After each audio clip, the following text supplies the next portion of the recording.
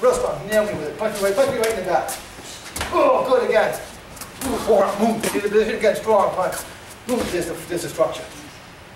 There's, there's all these positions right there. But you okay? okay. One more time. Don't go low like I want to swing the forearm. Forearm. Then roll over. Look at this here. There's a break. There's a kick again.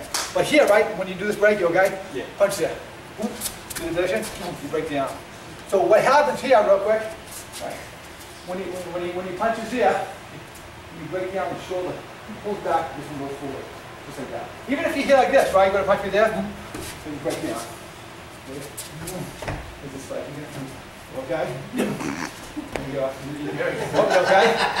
The? You know, okay? Yeah. This is the structures. And that's what it is, it's bone structure, so a lot of times in a person's